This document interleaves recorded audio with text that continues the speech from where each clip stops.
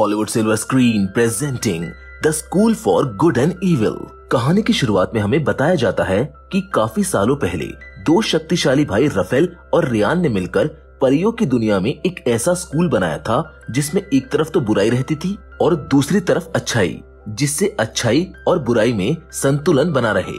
इसके बाद हम परियों की दुनिया में रफेल और रियान को फाइटिंग प्रैक्टिस करते हुए देखते हैं। लेकिन रफेल इस बात को लेकर गुस्सा हो जाता है कि तुमने हमेशा हीरोज को ही ज़्यादा बढ़ावा दिया है और उन दोनों में सीरियस फाइट होने लगती है। एक तरफ़ रियान की अच्छाई की शक्ति होती है, जबकि दूसरी ओर रफेल की बुराई की ताकत। रफेल अपने खूनी जादू से रिहान पर हमला करता है, जबकि खूनी जादू को इस्तेमाल करना मना होता है। मगर वो फिर भी खूनी जादू से लगातार रिहान पर वार करता रहता है। वो रिहान को मारने ही वाला होता है, लेकिन तभी रिहान रफेल को पहाड़ी से नीचे गिरा देता है और खुद बच जाता है। वहीं अब हमें इंसानी दुनिया में सोफी नाम की एक लड़की को दिखाया जाता है, जो कि एक सपना देख रही होती है, जिसमें वो रानी बनी होती है, मगर उसकी मॉम उसको उठा देती है। वो अपने घर वालों से बहुत परेशान है। वो इस टाउन से भी नफरत करती है, जिस वजह से वो यहाँ से जाना चाहती है। अब उधर जंगलों में बने एक घर में हम एगता नाम की एक लड़की को देखते हैं, जो कि अपनी मॉम के साथ यहाँ पर रहती है। उसकी मॉम और वो दोनों एक विच है, जिस वजह से इस टाउन के लोग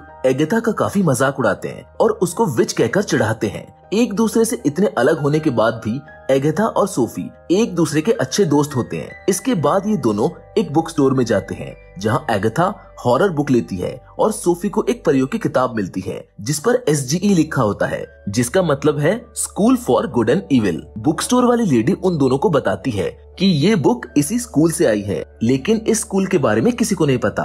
एक हज़ार बच्चों में से किसी एक को उस स्कूल में जाने के लिए चुना जाता है। कुछ साल पहले की बात है। गवेल्डन की एक लड़की को एक शैतान आकर ले गया था, जिसके बाद उसका किसी को पता नहीं चला कि वो कहाँ गई। ये सब सुनकर सोफी गुड स्कूल में जाने के लिए उत्सुक हो जाती है और वो अपने विश एक पेपर पर लिखकर उसको इच्छा पूरी करने वाले ट्री पर लगा देती है। हालाँकि एगता नहीं चाहती थी कि वो उसको छोड़कर जाए। वहीं अब रात को सोफी ये सोचकर उस ट्री के पास जंगल में आ जाती है कि शायद मुझे भी वो शैतान आके उस लड़की की तरह ले जाएगा, लेकिन तभी वहाँ पर एगथा आ जाती है। और इससे पहले कि वो कुछ बात करते, तभी वहाँ पर अचानक से आसमान लाल हो जाता है और एक काले धुएँ से बना हुआ शैतान सोफी को खींचकर ले जाता है। एगथा भी उसको पकड़ लेती है, लेकिन जैसे ही वो शैतान उनको छोड़ता है तभी वहाँ पर एक बहुत बड़ा लकड़ी से बना पक्षी आ जाता है, जो उन दोनों को पकड़कर अपने साथ ले जाता है। स्कूल पहुंचकर वो पक्षी सोफी को इविल और एगता को गुड स्कूल में छोड़ देता है।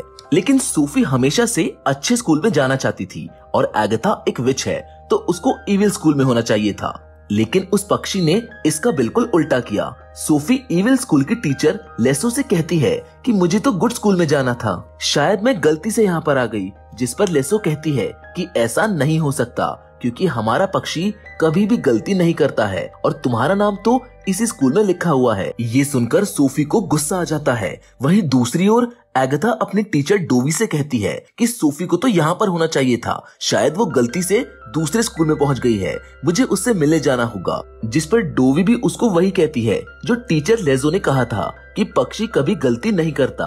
कुछ दिनों बाद न्यू स्टूडेंट्स के वेलकम के लिए दोनों स्कूल्स के टीचर्स और सभी बच्चे एक जगह पर इकट्ठा होते हैं, जहाँ सभी बच्चों ने अपनी अपनी परफॉर्मेंस देने के लिए उसी तरह के कपड़े पहने होते हैं। बस एगथा और सूफी नॉर्मल कपड़ों में होती हैं, जिसके बाद सभी बच्चे परफॉर्म करने लगते हैं जिसमें एक किंग आर्थर का बेटा टेड्रोस भी होता है जो वहाँ पर काफ़ी फ़ेमस है। टेड्रोस एक शानदार परफॉर्मेंस देता है जहाँ उसको एक बुरे स्कूल का लड़का फाइट के लिए चैलेंज करता है। टेड्रोस उसको अपने फादर की सोच से बहुत आसानी से हरा देता है। फिर वहाँ पर स्कूल का हेडमास्टर रियान आ जाता है। तभी सोफी और एगथा उसको बताते हैं कि वो दोनों गलत स्कूल में आ गए हैं। क्या हम वापस घर जा सकते हैं? जिस पर हेडमास्टर कहता है कि अच्छाई और बुराई के स्कूल में गलतियों की कोई भी गुंजाइश नहीं है, जिसके बाद वो उन सभी को शुभकामनाएँ देकर वहाँ से चला जाता है। अब उसी रात एगथा स्कूल से भागकर सोफी के पास जाने की कोशिश करती है, लेकिन तभी वहाँ पर एक एंजल आकर उस पर तीरों से हमला करने लगती है, जिससे बचते हुए वो शीशा तोड़कर अंदर की ओर भागती है, जहाँ वो देखती है कि उसकी नज़रों के सामने उड़ते हुए खून ने रफेल का रूप ले लिया है, और वो एगथा से कहता है कि सोफी से दूर रहो विच, उसको अपना मकसद हासिल करना है, और अब वो मेरी है। ये कहकर वो वहाँ से गायब हो जाता है, लेकिन एगथा उस पर बिल्कुल भरोसा नहीं करती है, और किसी न किसी तरह से सोफी के पास पहुँच जाती है, जहाँ वो दोनों मिलकर स्कूल के हेडमास्टर के पास जाती हैं, ताकि वो दोनों उनसे बात करके अपना स्कूल बदलवा सके। लेकिन हेडमास्टर उनसे मना कर देता है कि ऐसा नहीं हो सकता। पर हाँ अगर तुम दोनों साबित कर सको कि कौन गुड स्कूल में रहने लायक है और कौन नहीं तो शायद मैं तुम्हारे लिए कुछ कर सकता हूँ। इसके लिए तुम्हें एक सच्चे प्यार करने वाले की ज़रूरत होगी। और जब तुम दोनों किस करोगे तो तुम्हारा स्कूल बदल जाएगा। सोफी को टेड्रोस पहले ही दिन से पसंद आ गया था। इसलिए वो एगथा को एक लेटर देती है और कहती है कि ये लेटर टेड्रोस को दे देना, क्योंकि मैं उसी को पसंद करती हूँ। एगथा वो लेटर लेकर टेड्रोस के पास पहुँच जाती है, जहाँ उन दोनों में थोड़ी बातें होती हैं, जिसके बाद एगथा उसको वो लेटर देकर वहाँ से चली जाती है, जिसके बाद हम देखते हैं कि गुड स्कूल के सभी बच्चों को टेस्ट के लिए जंगल में ले जाया जाता है, जहाँ जंगल में काफ़ी काटने वाले फूल होते हैं, जिनमें से एक फूल ग्रेगर नाम के लड़के के पैर में काट लेता है, जिस वजह से वो डर कर वहाँ से भागने की कोशिश करता है। एगता भी उसके पीछे भागती है। ग्रेगर पहले ही टेस्ट में दो बार फेल हो चुका था, और यहाँ का एक रूल है कि जो भी तीन बार टेस्ट में फेल हो जाएगा, वो एक जानवर बन जाएगा। और ये उसका आखिरी मौका होता है। तभी हम देखते हैं कि ग्रेगर के चारों तरफ़ काले बादल आ जाते हैं, जो देखते ही देखते उसको पूरी तरह से घेर लेते हैं और गायब कर देते हैं, जिसको देखकर एगता को काफ़ी बुरा लगता है। वहीं इविल स्कूल में लेसो सभी स्टूडेंट्स की पावर्स को देख रही होती है। उसी बीच हेस्टर नाम की एक लड़की की सोफी के साथ लड़ाई हो जाती है। इस लड़ाई में हेस्टर अपने शरीर पर बने टैटू से एक ड्रैगन को बाहर निकालती है। ड्रैगन सोफी पर हमला करने लगता है। सोफी के पास कोई जादुई पावर ना होने की वजह से वो बस उससे बचने की कोशिश कर रही होती है। लेकिन तभी अचानक से वहाँ पर बहुत सारी मधुमक्खियाँ आ जाती हैं, जो उस ड्रैगन को चिपट जाती हैं। मधुमक्खियाँ उसको घायल कर देती हैं, जिसके बाद वो सभी मधुमक्खियाँ मिलकर रेफेल का रूप ले लेती है। वो उन सभी को बताता है कि सोफी बहुत पावरफुल है और उसकी तारीफ़ करके वो वहाँ से चला जाता है, जिसको देखकर लेसो काफ़ी हैरान रह जाती है। वही दूसरी ओर, डोवी सभी बच्चों को एक नदी के पास लेकर जाती है उस नदी में ऐसी मछलियाँ होती हैं, जिन्हें छूकर कोई भी विश मांगी जाए तो वो उसी पल में पूरी हो सकती हैं। सभी बच्चे उस नदी की मछलियों से अपनी अपनी विश पूरी करवा लेते हैं लेकिन अब तक एगथा समझ चुकी होती है कि यहाँ पर जो भी जानवर है, वो कोई ना कोई स्टूडेंट है, जिसे टेस्ट में फेल होने की वजह से जानवर बना दिया गया है अब बारी एगथा की होती है वो विश मांगती है कि काश हम सबके सब घर जा पाएँ। तभी नदी की सारी मछलियाँ इकट्ठा होकर एक लड़की बन जाती है, जो एगता से कहती है कि मैं सौ साल पहले फेल हुई थी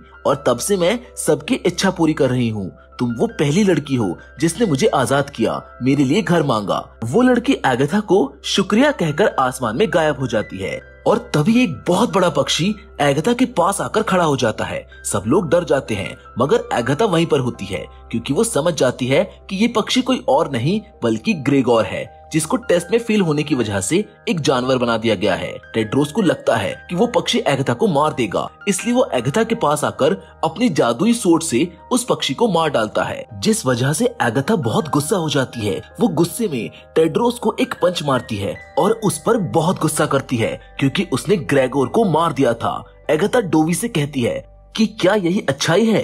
किसी सीधे साधे इंसान को इसलिए मार देना चाहिए क्योंकि वो तुम्हारी उम्मीदों पर खरा नहीं उतरता, जिस पर टीचर बताती है कि यहाँ हर कोई किसी खास मकसद के लिए है और तुम भी ये बहुत जल्द समझ जाओगी। जिस तरह से तुमने उस लड़की को बचाया, उससे साबित होता है कि तुम वो पहली एक सच्ची राजकुमारी हो, जो एक बहुत लंबे समय बाद आई है, जिसके बाद सोफी और एगथा एक दूसरे से मिलते हैं, जहाँ सोफी उसको बताती है कि मधुमक्खियों ने मेरी जान बचाई, जो कि असल में राफेल था। तभी वहाँ पर टेड्रोस आ जाता है और एगथा वहाँ से चली जाती है, क्योंकि वो टेड्रोस से अभी भी उस बात को लेकर गुस्सा है। जब सूफी और टेड्रोस बात कर रहे होते हैं तभी वहाँ के गार्ड्स वेयरवुल्फ वहाँ पर आ जाते हैं। वो वेयरवुल्फ सोफी को पकड़कर एक रूम में ले जाकर उसको एक चेयर पर बाँध देते हैं, क्योंकि उसने राजकुमार से बात करने की कोशिश की। उसी रूम में लेसो पहले से मौजूद होती है, जो कि सोफी के बाल काट देती है। और जब सोफी अपने आप को मिरर में देख रही होती है, तब रेफेल मिरर से सोफी को दिखाई देता है, जो सोफी से कहता है कि तुम बहुत स्पेशल हो, मुझ पर भरोसा करो,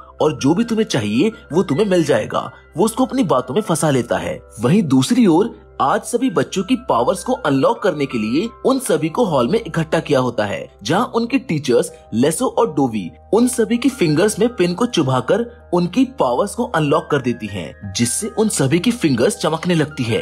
तभी वहाँ पर सोफी अपने अलग अंदाज में आती है जिसने अपना लुक पूरी तरह से बदल लिया होता है। उसको देखकर सभी बच्चे हैरान हो जाते हैं जिसके बाद वो अपनी पावर्स अनलॉक कराकर वहाँ से चली जाती है। वो उन लड़कियों के साथ अपना ग्रुप बनाती है जिनसे उसकी बनती भी नहीं थी। उसने ये सब टेड्रोस को पाने के लिए क्या होता है। ताकि उसको उससे सच्चे प्यार से किस मिल जाए और उसका स्कूल बदल जाए। लेकिन उसकी ये हरकतें एगथा को बिल्कुल भी पसंद नहीं आती है। वो उसे काफ़ी समझाती है, पर सोफी उल्टा उसी पर गुस्सा करने लगती है। वो कहती है कि ये भी तुम्हारी गलती है। अगर उस रात में अकेले आती तो शायद मुझे गुड स्कूल मिल जाता। लेकिन तुम्हारी वजह से सब बिगड़ गया, जिस पर एगथा उससे कहती है कि नाराज़ मत हो, मैं टेड्रोस को हासिल करने में तुम्हारी मदद करूँगी। ये सुनकर सोफी अब काफ़ी खुश हो जाती है, जिसके बाद एगथा उन दोनों को मिलाने के लिए काम पर लग जाती है। हालाँकि एगथा को भी टेड्रोस से प्यार होने लगा था, मगर फिर भी वो उन दोनों को मिलवा देती है।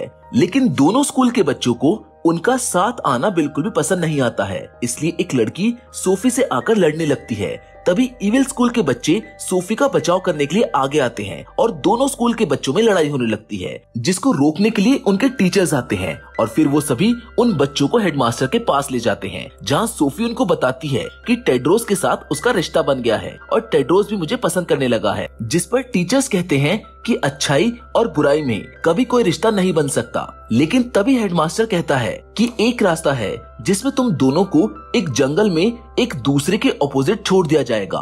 तुम्हें जंगल की कठिनाइयों को पार करके एक दूसरे को ढूंढना होगा।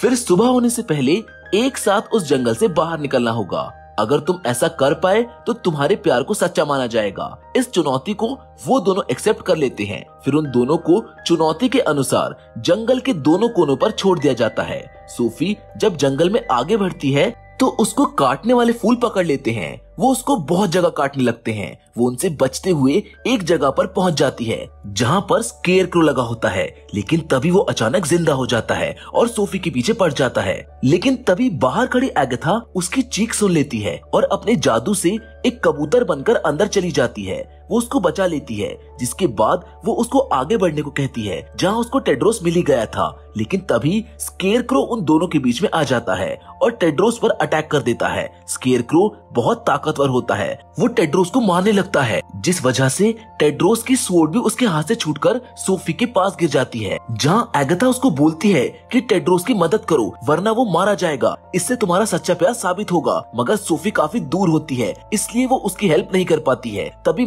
मजबूरन एगथा वो स्वॉर्ड उठाकर टेड्रोस को पकड़ा देती है और वो स्केरक्रो को मार देता है, जिसके बाद वो सोफी को ये बोलकर वहाँ से चला जाता है कि तुम्हारा प्यार झूठा है। तुम अगर चाहती तो मुझको बचा सकती थी, जिसके जाने के बाद सोफी एगथा पर गुस्सा करती है कि अगर तुम यहाँ पर नहीं आती तो ये सब नहीं होता, सब तुम्हारी वजह से हुआ है और वो भी वहाँ से चली जाती है। एगथा को ये सुनकर बहुत बुरा लगता है। इसके बाद हम सोफी को उसके रूम में देखते हैं, जहाँ रफेल फिर से उसको मिरर में नज़र आता है और वो उससे कहता है कि तुम्हारी दोस्त ने तुमको धोखा दिया है। टेड्रोस तुम्हारे लायक था ही नहीं। अगर तुम उससे मिल जाओ तो मैं तुमको छोड़कर कभी नहीं जाऊँगा, बल्कि मैं तो तुम्हें अपनी पावर्स भी दे दूँगा, जिससे तुम बहुत पावरफुल हो जाओगी। सूफी उसकी बात मान लेती है, जिसके बाद रफेल उसको अपना ब्लड मैजिक देता है। वहीं दूसरी ओर एगथा सभी टीचर्स के साथ लेसो से मिलने जाती है, जहाँ सभी टीचर्स लेसो पर भड़कने लगते हैं और कहते हैं कि तुम्हें पहले से पता था कि रफेल यहाँ पर है और तुमने फिर भी किसी को कुछ नहीं बताया।